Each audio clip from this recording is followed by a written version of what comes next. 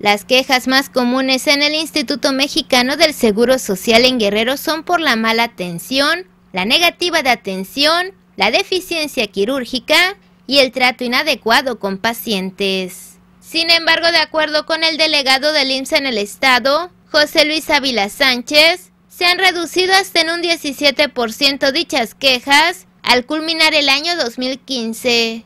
Destacó que el instituto ha logrado rebasar metas sobre todo en el ingreso de 150 mil trabajadores afiliados y 12.700 patrones, lo cual ubica al INS Guerrero entre los primeros 10 lugares en ingreso sostenido y liderazgo en afiliaciones. La guardería del INS fue otra vez reconocida ahora con el Águila de Oro.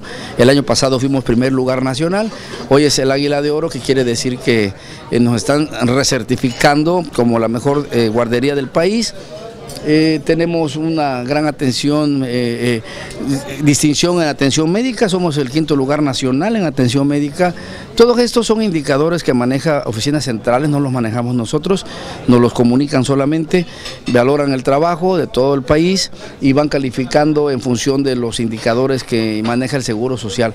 Para el año 2016 se espera contar con mejores unidades médicas en Cihuatanejo, terminar la inversión de 18 millones de pesos para mejorar el área de urgencias, así como también habrá inversión en Iguala, Chilpancingo, además se va a construir una clínica en Mezcala, y se realizará una remodelación en el Hospital General de Acapulco. En cuanto a mejoramiento, vamos, estamos recibiendo equipos por más de 20 millones de pesos, que desde hace 24 años el, Hospital Vicente Guerrero no tenía, equipo médico quirúrgico, que por primera vez en 24 años estamos recibiendo, y se debe al esfuerzo que hemos hecho y al reconocimiento de las oficinas centrales en darnos lo que nos hace falta, sobre todo en implementos quirúrgicos, implementos médicos, que pues estamos recibiéndolo como nunca. Además, una vez que se autorice por el sector salud en general, hay la posibilidad de que derechohabientes resulten beneficiados con la vacuna contra el dengue el siguiente año. El compromiso es seguir trabajando con mucho esmero, con, mucha, con muchas ganas que los trabajadores, las y los trabajadores SIMS eh, tienen la camiseta puesta. Nos queda clarísimo que nuestra misión principal es atender al derechohabiente.